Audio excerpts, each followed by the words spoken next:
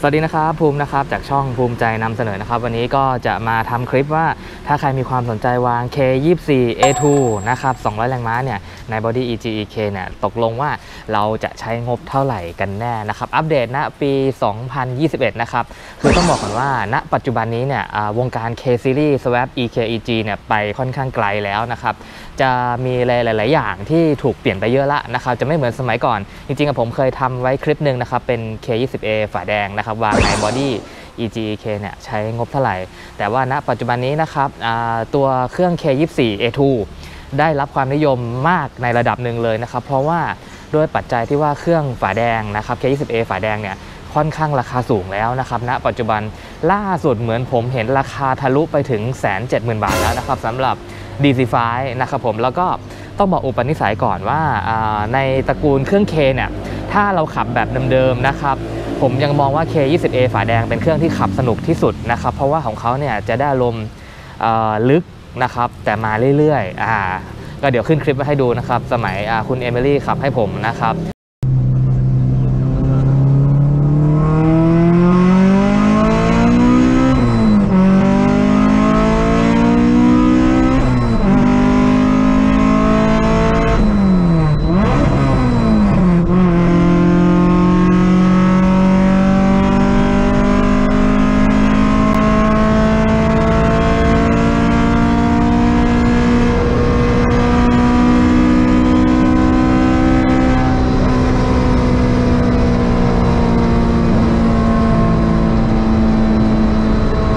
ผมนะครับแต่ว่าถ้า เป็น K24 A2 เดิมๆ ผมไม่เคยทำคลิปนะครับ แต่ว่าผมก็เคยมีครอบครองรถคันหนึ่งนะครับ คันนั้นก็เจ็บไปเยอะเหมือนกันก็ขายออกไปแล้วนะครับ นิสัยของ K24 A2 เดิมๆ ประกบคู่กับเกียร์เนี่ย เกียร์ธรรมดา 5 สปีดนะ คันนั้นจะเป็นในลักษณะของการมาเร็ว แต่มาแรงแต่หมดไวนะครับ จะแตกต่างกันเลย ต้องดูว่า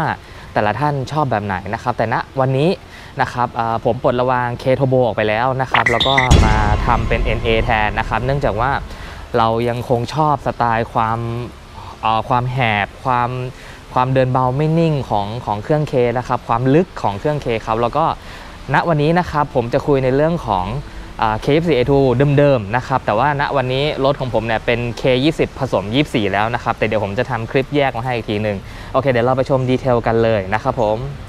ทีนี้เริ่มต้นนะครับอ่าถ้าใครอยากจะวาง K24 A2 นะครับผมแนะนำ ให้ซื้อแบบที่เขาจัดชุดเซตมาขายแล้วนะครับ ก็จะมีคุณนัทชัดเจนพี่ยงบางนานะครับ ก็ติดต่อพี่เขาได้เลยนะครับ อันนั้นอาจจะไม่ต้องเหนื่อยหาของนะครับ แต่ถ้าใครแบบค่อยๆ เก็บของอะเรามาเริ่มต้นที่ท่อนตรงก่อน ท่อนตรง K24 A2 นะครับ RBB อ่าตัวนี้ท่อนตรงนะครับ แค่ตรงๆนะ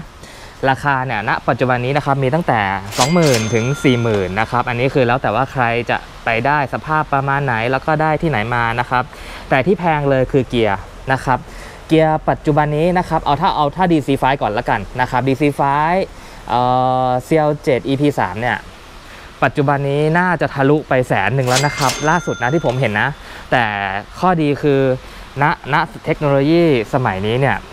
ตัวเกียร์เนี่ยเราสามารถแปลงใช้เกียร์ธรรมดาตัวอื่นได้แล้วนะครับ มีช่างเก่งๆทำได้หลายคนแล้วก็บางท่านก็เอาเกียร์ขับสีมาอุดก็ทำได้แล้วนะครับอ่า อันนี้ก็ก็ลองดูว่าอ่าแต่ละท่านเรื่องของงบประมาณเป็นหลักละกันนะครับผม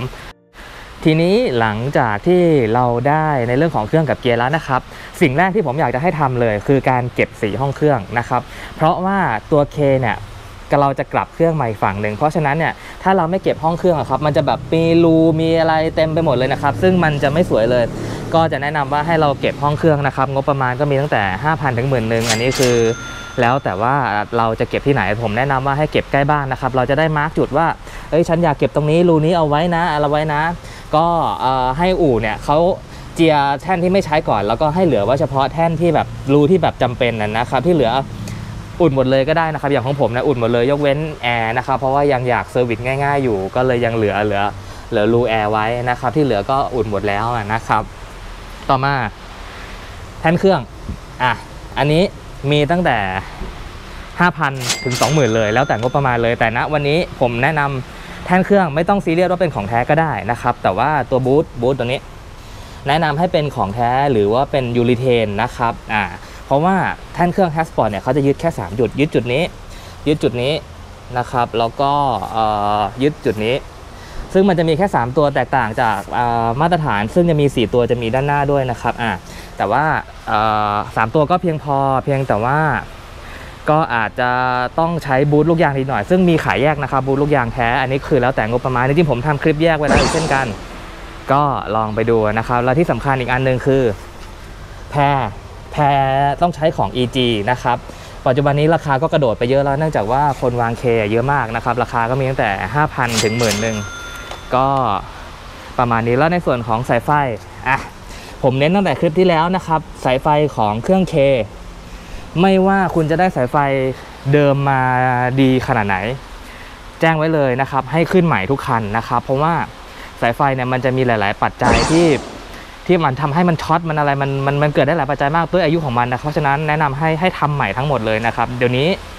ราคาค่าทำสายไฟไม่แพงแล้วนะครับ มีตั้งแต่หมื่นหนึ่งถึงสองหมื่นเลยนะครับ อย่างของผมเนี่ย ให้พี่โจ VTEC Sport ทำสายไฟให้นะครับ ชุดนี้ก็ทำตั้งแต่ตอนเป็นเคฝาแดงละนะครับ ก็ช่างสายไฟรุ่นใหม่ยังชมเลยว่าพี่โจทำสวยนะครับ คือเขาแบบถักมาให้อย่างดีเลย มันจะมีความทนทานแล้วก็ทนความร้อนนะครับ ก็สายไฟอยากจะให้ขึ้นใหม่ทั้งหมดเลยนะครับผมต่อเนื่องกันเลยนะครับ สิ่งที่เริ่มหายากแล้วเผานะครับเผาอะเผาณวันนี้นะครับ ผมแนะนำเลยว่าให้ซื้อแบบที่เขาจัดชุดสำเร็จนะครับ ก็เหมือนเดิมนะครับณวันนี้ก็จะมีพี่พี่นัทชัดเจนกับพี่ยงนะครับที่จัดชุดขายอยู่ไม่งั้นเราปวดหัวแล้วกับปวดหัวแปลงนะครับก็ซื้อแบบที่เขาจัดชุดสำเร็จบอกบอดี้เข้าไปเลย ว่าเราเป็นเครื่องนี้เกียร์นี้นะครับวางใน body นี้คือพี่นัทชัดเจนกับพี่ยงเนี่ยเขาค่อนข้างเป๊ะมากเขาจะจัดชุดเพลาสำเร็จมาให้เราเป๊ะๆเลยนะครับ เราก็ลองดูว่ามันคุ้มกว่าไม่ต้องไปเสียเวลามานั่งหานั่งแปลงนะครับ ก็แนะนำเป็นแบบนั้นดีกว่า แล้วก็ต่อมาก็จะเป็น ระบบน้ำกับระบบแอร์นะครับอะอันนี้ต้องบอกก่อนว่าเรียกได้ว่าเป็นเป็นกึ่งกึ่ง option ละกัน คือปกติมันสามารถใช้หม้อน้ำเดิมย้ายตำแหน่งมาได้ด้วยนะครับอ่าเดี๋ยวผมขึ้นรูปสมัยก่อนผมมาให้ดู หรือจะทำเป็นหม้อน้ำยาวเต็มใบก็ได้ แต่ว่าถ้าถ้าใครจะได้ทำแล้วครับ ก็แนะนำว่าให้ให้ทำแบบใต้คานไปเลยละกันนะครับใต้คานนี่ผมก็จบที่น้องก๊อฟมานะครับรวมแผงแอร์เนี่ยหมื่นสองเพร้อมพัดลมสองตัว มันก็จะได้ความโล่งนะครับอ่าก็ ลองดูนะครับ แล้วก็ถ้าเป็น 24 เนี่ยคอยดีเดิมใช้ได้นะครับ แต่ว่ามันจะเป็นแบบคล้ายๆกับหยวกกล้วยลงไปนะครับ แล้วก็ตัวกรองอากาศเนี่ยขึ้นมาด้านบน แต่พอดีผมเปลี่ยนเป็นสีลิ้นแล้วนะครับ ก็อันนี้แล้วแต่งบประมาณนะครับ อย่างระบบเบรกอย่างเงี้ยอะระบบเบรกจริงๆอะผมอยากให้เก็บทุกคันนะครับ เพราะว่าอ่าถ้าถ้าเป็นบอดี้เดิมๆของ EK EJ EGEK อะท่อเบรกเนี่ยมันจะมาเดินฝั่งนี้ลุงลังเต็มไปหมดเลยนะครับ อยากจะให้เก็บไปเลย เพราะว่าตอนที่เราทำสีห้องเครื่องเสร็จเนี่ยถ้าเราเก็บเบรกไปด้วยมันจะค่อนข้างสวยแบบนี้เลยนะครับ แต่ว่าถ้าเราไม่เก็บ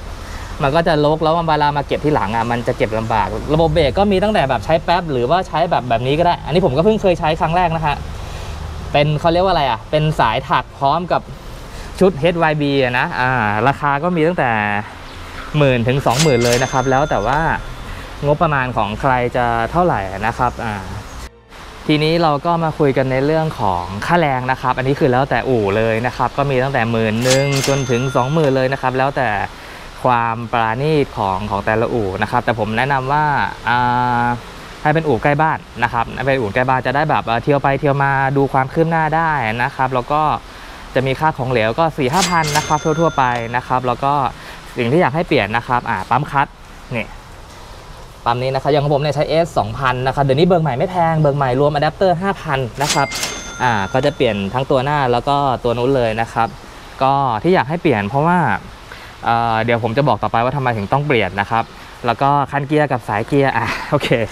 อะนี่คันเกียร์กับอันนี้สายเกียร์สายเกียร์อ่าณปัจจุบันนี้นะครับ ณปัจจุบันนี้สายเกียร์มีสำเร็จรูปขายแล้วนะครับ เป็นเป็นของจีนนั่นแหละแต่ถามว่าใช้ได้ไหมใช้ได้เลยนะครับ มันสามารถปรับระดับได้ด้วย ส่วนคันเกียร์อันนี้แล้วแต่นะครับ แต่ส่วนใหญ่ก็เปลี่ยนกันหมดแหละนะครับอ่าเดี๋ยวนี้ก็ไม่ไม่ได้แพงแล้วนะครับ ของแท้ก็อยู่สักหมื่นกว่าบาท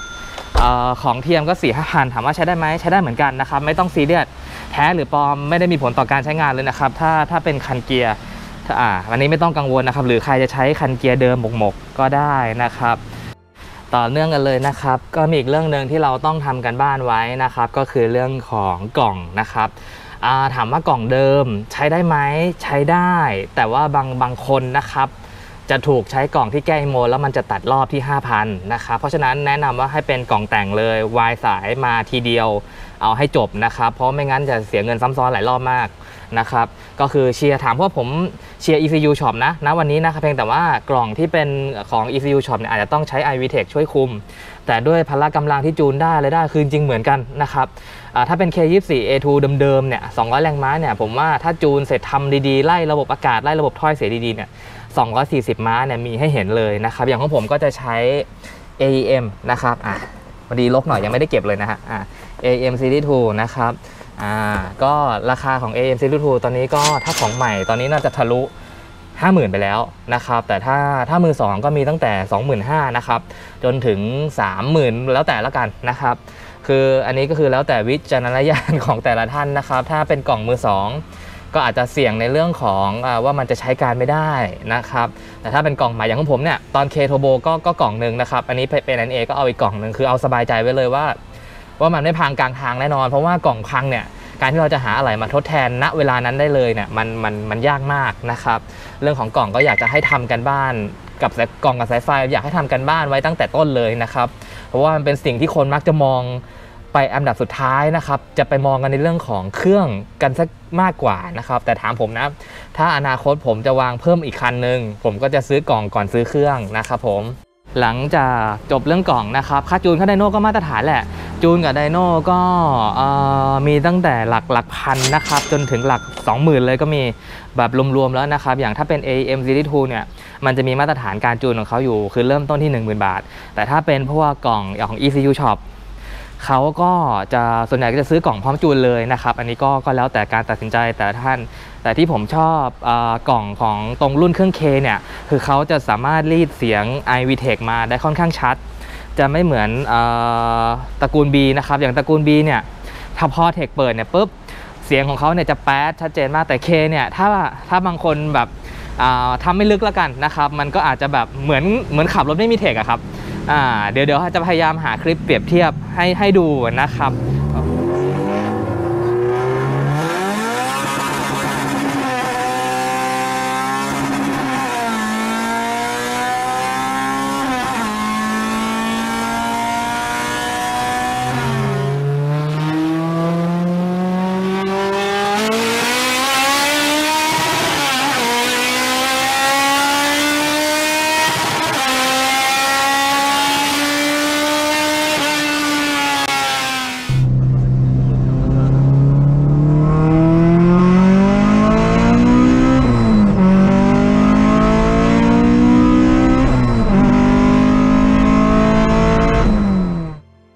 เคแล้วก็ทีนี้ที่หลังจากนี้เราจะพูดถึง option ละกันนะครับ option ว่าถ้าเราจะจะทำ step ประมาณเนี้ยมันจะต้องเพิ่มงบอีกเท่าไหร่นะครับ เป็นอีกทางเลือกหนึ่งให้ให้ด้วยนะครับ แต่ยังอยู่ในพื้นฐานของ 24 เดิมๆนะครับทีนี้เรามาคุยกันในเรื่องของคอไอดีคอไอดีเนี่ยจริงๆอะมีตั้งแต่หลักพันจนถึง หลักหลายหมื่นเลยนะครับห้าหมื่นก็มีนะครับแล้วแต่งบประมาณเลย ถามว่าการใส่คอยดีเนี่ยมันจะทำให้รถเนี่ยสวยขึ้น เพราะว่าถ้าเป็นคอยดีเดิม 24อะครับมันจะมุดลงไปข้างล่าง มันก็อาจจะดูแบบไม่เท่นะครับ ก็แล้วแต่แต่ที่ผมเลือกสีลิ้นเนี่ยเพราะผมชอบเสียงเสียงเวลาเราเดินเบา เสียงเวลาเราออกตัวของเขาเนี่ยมันจะมีมีความหอบ มีความแบบโหด ซึ่งมันเป็นเสน่ห์ของสี่ลิ้นนะครับ ถามว่าขับยากไหมขับโคตรยากเลยบอกเลยนะครับ เดินเบาก็ไม่นิ่งอพอซัดนะครับ ก็จะมีเรื่องปัจจัยเรื่องของอากาศเข้าเข้ามาเกี่ยวข้องอีก คือมันหลายปัจจัยนิดนึงนะครับ แต่ทุกอย่างนะครับย่อมสยบด้วยคำว่าเสียงเสียงมันเท่นะครับสำหรับผมนะสำหรับผมนะ แต่ถ้าถ้าคนที่ใช้คอไอดีอย่างแพ็คเวิร์กอะไรอย่างเงี้ยหรือว่าเป็นคอไอดีอย่าง Skunk2อย่างเงี้ยครับ อันนั้นคือเขาก็จะมีความเสถียรมากกว่า แต่ทั้งนี้ทั้งนั้นอยู่ที่งบประมาณของแต่ละท่านนะครับ ก็เริ่มต้นตั้งแต่หลักพันจนถึงหลักหลักห้าหกหมื่นก็มีนะครับคอยดีจีนก็ใช้ได้นะครับ ไม่ต้องซีเรียสเพราะหลักการของคอยดีไม่ได้มีอะไรนะครับผม แล้วก็การทำสี powder coat ถ้างบถึงก็อยากให้ทำเลยนะครับ เพราะว่ามันจะสวยเห็นไหมฮะ เครื่องมันจะดำมันจะแบบไม่มีคราบไอ้น้ำจากญี่ปุ่นเกาะมาเลยนะครับ powder coat ทำสีก็จะมีตั้งแต่หมื่นถึงสองหมื่นเลยนะครับแล้วแล้วแต่ตัวงบประมาณของของแต่ละท่าน ทีนี้ที่ผมบอกว่าทำไมผมอยากให้เปลี่ยนปั๊มคัตอ่าหน้าหลังเพราะว่าคลัตช์เนี่ยผมอยากให้เปลี่ยนเป็นพวกคลัตช์ซิ่งเลยทีเดียวนะครับ เพราะว่าถ้าถ้าเราจูนนะ จูนบน dyno ตามหลักแล้วเนี่ย tuner เนี่ยเขาจะ รีดแรงม้าออกมาให้ได้มากที่สุด และปัญหาที่จะเจอบ่อยมากเลยนะครับ คือคลัตช์ลื่นนะครับ เพราะฉะนั้นถ้าคลัตช์ลื่นเมื่อไหร่นะครับ เสียตังค์อีกรอบยกเกียร์ลงเปลี่ยนคลัตช์อีกนะครับ เพราะฉะนั้นเราควรจะทำระบบส่งกำลังเนี่ยให้มันสมบูรณ์ไปตั้งแต่ตอนที่เรายกเครื่องขึ้นเลย ตอนที่เครื่องอยู่ข้างนอกเลย ก็อยากจะให้เปลี่ยนไปให้หมดเลยนะครับไม่ให้มันไปมีปัญหากลางทาง ล่าสุดก็คือเป็นเป็นเพื่อนผมในในคลองคลองสามอะพอดีผมอยู่ปทุมคลองสาม ก็เจอปัญหาระหว่างจูนคือระบบเบรกเบรกติดนะครับ อันนี้ก็มีเหมือนกันนะครับ แล้วก็ header กับท่อเสียอะ header กับท่อเสียอันนี้คือแล้วแต่งบประมาณอีกเช่นกันนะครับอของผมก็เปลี่ยนหลายชุดละนะครับ ก็แล้วแต่อารมณ์พอดีคันนี้อยากจะเอาเป็น step แบบขับโหดๆขับมันๆละก็เลยเอาเป็นตรงๆแล้วแต่ถ้า ถ้าใครเป็นแฟนคลับผมในในในคลิปกันก่อน head ผมก็จะเป็นแบบทรงม้วนนะครับ ก็จะได้อารมณ์อีกแบบหนึ่งทั้งนี้ทั้งนั้นต้องบอกก่อนว่า head เดิมใช้ได้นะครับ ต้องบอกก่อน header กับท่อเสียเนี่ยแล้วแต่งบเลยละกัน เพียงแต่ว่าถ้าเรามาเปลี่ยนทีหลัง มันก็แค่ต้องต้องจูนใหม่นะครับอ่าอันนี้คือแล้วแต่งบประมาณของแต่ละท่านในเป็นหลักละกันนะครับ สุดท้ายนะครับ อันนี้คือแล้วแต่นะครับ แล้วแต่ท่านเลยพวกของแต่งจุกจิก พวกคอน้ำฝาแผ่นปิดคอยอะไรพวกเนี้ยฝาปิดน้ำมันเครื่องอการวัดน้ำมันเครื่อง อันนี้แล้วแต่ส่วนตัวผมผมก็ไม่ค่อยอินเท่าไหร่นะครับแต่ว่าที่ที่ซื้อคอน้ำมา เพราะว่าเราเก็บว่าน้ำโล่งไงแล้วเราไม่อยากให้มันมีติ่งอะไรมันยื่นออกมา ก็เลยเอาคอน้ำไว้ตรงนี้ แต่ถามว่าไอ้พวกของแต่งเคจูนหรือคอน้ำหรืออะไรพวกเนี้ย แล้วแต่ว่าแต่ละท่านชอบแบบไหนละกันนะครับของปลอมของแท้ใช้ได้หมดไม่ต้องซีเรียสนะครับไม่ได้มีผลต่อการขับขี่ อันนี้คือแล้วแต่งบประมาณละกันนะครับอย่างผมเนี่ยบางอย่างก็ปลอมนะครับก็บอกตรงๆ ผมก็ภูมิใจที่ผมใช้ของปลอมเพราะว่ามันใช้ได้เหมือนกันเราจะไปเสียเงินทำไมเยอะแยะ ถูกไหมฮะ ส่วนอย่างอื่นก็ระวัดระมัดระมัดระวังเรื่องของโชคกระเบรกนะครับ ทันทีที่คุณวางเคเนี่ยน้ำหนักรถเนี่ยครับมันจะเทไปอีกทาง มันจะเทไปทางนี้นะครับ ซึ่งต้องเซตช่วงล่างให้ดีนะครับ ไม่งั้นเนี่ย เวลาเราใช้งานเนี่ยมันจะค่อนข้างปวดหัวนะครับรวมถึงระบบเบรกเบรกอันนี้คือแล้วแต่เลยนะครับ จริงๆอะผมผมใช้เบรกเดิมด้วยนะของ B16A แต่ว่าเปลี่ยนผ้าเบรกดีๆเอานะครับ คือเบรกเดิมเนี่ยสำหรับผมผมว่าเพียงพอนะครับ เพราะว่าไม่เคยเบรกจนเบรกเฟสสักทีเว้น แต่ว่าตอนนั้นที่ไปแข่งรถในสนามบุรีรัมย์นะอันนั้นอะเบรกเฟสแต่นั้นคือในมอเตอร์ไซค์บิ๊กไบค์นะครับซึ่งความเร็วมันสูง เราเบรกที่ความเร็ว 250 กิโลเมตรต่อชั่วโมงกันนั้นมีความจำเป็นต้องใช้แบบเบรกดีๆนะครับแต่ว่ารถบ้านอย่างเราเนะ่ยเต็มที่นะผมให้เลยนะ 200 กิโลเมตรต่อชั่วโมงอะผมว่าส่วนใหญ่ก็ยกแล้วนะครับก็อย่าไปขนาดนั้นเลยเนาะเราเอาแบบขับหล่อๆเท่ๆตามกฎหมายดีกว่านะครับผมก็สำหรับคลิปนี้ก็เป็นการแชร์ประสบการณ์ไว้ประมาณนี้ก่อนแล้วกันนะครับ ถามว่าผมจะรู้ลึกอะไรไหมคือผมไม่ได้รู้ลึกอะไรเลยนะครับ แต่ว่าแค่แบบมีประสบการณ์จากการทำไม่ว่าจะเป็น K ฝาแดง K เทอร์โบนะครับ K ยี่สี่เดิมๆจนปัจจุบันนี้เป็น 20 ผสม 24แล้วก็ไม่รู้ว่ากลับมา step นี้ได้ยังไงนะครับ แล้วก็มีอย่างหนึ่งที่อยากจะให้ทุกคนทำนะครับ อันนี้แล้วแต่นะครับอย่างบางคนเนี่ยพอวาง K แล้วเนี่ยจะมีปัญหาเรื่องอปั๊ม powerนะครับซึ่งณสมัยก่อนนะสมัยที่ผมวาง K เมื่อหลายปีก่อนเนี่ยผมยังใช้ปั๊ม power ไฟฟ้าอยู่ แต่ปัจจุบันนี้นะครับผมใช้พวงมาลัยไฟฟ้าแล้วนะครับ ซึ่งเป็นอะไรที่พอใจมาก เพราะว่า พวงมาลัยไฟฟ้าเนี่ยเวลารอบเบาอะครับเขาจะค่อนข้างเบา แล้วก็ตัดปัญหาเรื่องน้ำมัน power รั่วไปเลยนะครับแต่พอพอรอบสูงก็มันจะหนัก อันนี้ตอบโจทย์ผมมากเลยเพราะว่าถ้าใครดูคลิปผมก่อนๆเนี่ยพอความเร็วสูงนะครับพอพวงมาลัยมันเบาเนี่ยปุ๊บมันจะอันตรายมากนะครับ คือแบบวอกแวกไม่ได้เลยวอกแวกปุ๊บโอกาสตายสูงมากนะครับ แต่คันนี้พอเปลี่ยนเป็นพวงมาลัยไฟฟ้า ที่ความเร็วสูงๆเนี่ยมันจะแข็งขึ้นมา แล้วก็ถือว่าตอบโจทย์ผมเลยนะครับ ผมสามารถแก้ปัญหาตรงนี้ได้ร้อยเปอร์เซ็นต์เลยนะครับ ก็ใครสนใจก็ลองติดต่อน้องก๊อฟดูนะครับ น้องก๊อฟก็เป็นคนทำรถให้ผมเกือบทั้งหมดเลยนะครับสำหรับเคซีรีส์คันนี้นะครับ คลิปนี้ก็เป็นเรื่องของรายละเอียดคร่าวๆแล้วกันนะครับ ถ้าใครอยากจะวาง K24A2 เนี่ยที่เห็นราคาท่อนตรงมันเนี่ยท่อนตรงมันแค่ 20,000นะครับเอาเฉลี่ยเฉลี่ยแล้วกันเนาะที่เหลือเนี่ย หลักแสนทั้งนั้นเลยนะครับ ก็ลองเป็นไกด์ไลน์ดูแล้วกันนะครับ หรือว่าถ้าใครแบบไม่อยากปวดหัว ผมก็แนะนำว่าให้ไปวางพี่ที่เขารับจบแบบเหมาเลยก็ได้นะครับ ตอนนี้ก็จะมีหลาย ๆ ท่านทำได้ละนะครับ ก็จะมีตั้งแต่พี่พี่นัทชัดเจนเพี่พี่ยงไม่แน่ใจวางหรือเปล่านะครับอ่าแล้วก็พี่พี่อาร์ตอันฟิลอาร์ตเนาะบางนา เอาเป็นว่าเยอะละกัน เดี๋ยวนี้คนวาง K เก่งๆ หลายท่านละนะครับ แต่ว่าถ้าใครแบบ ไม่ไม่สะดวกที่จะมาวางแบบเหมาอะนะครับแล้วก็อยากจะค่อยๆ เก็บของเผื่อว่ามีจังหวะเจอของที่ถูกอะไรอย่างเงี้ยก็ลองเอาคลิปจากผมเนี่ยเป็นไกด์ละกันก็หวังว่าน่าจะมีประโยชน์บ้างนะครับ คลิปนี้ก็จะพยายามคีปเวลาให้ให้น้อยนะครับ จะได้กระชับนิดนึงส่วนว่างบประมาณเท่าไหร่เพื่อนๆ ก็ลองบวกเอาเองล้วกันนะครับแล้วเดี๋ยวคลิปต่อไปเนี่ยเราก็จะมาค่อยๆขยายสเต็ปให้ดูว่าแต่ละสเต็ปเนี่ยมันจะใช้งบเพิ่มอีกเท่าไหร่อะไรยังไงอะเนาะ โอเคครับสำหรับคลิปนี้ก็ประมาณนี้นะครับยังไงผมฝากกดไลค์กดแชร์กดติดตามกด subscribe ไว้ด้วยนะครับหายไปนานนะครับต้องขออภัยจริงๆ พอดีช่วงนี้งานยุ่งด้วยแล้วก็โควิดด้วยนะครับแล้วเราก็รถก็กลับมาหน้าฝนพอดีอีกนะครับไม่ได้ขับเลยนะครับผมโอเคใครเจอก็ทักทายกันได้นะครับขอบคุณครับ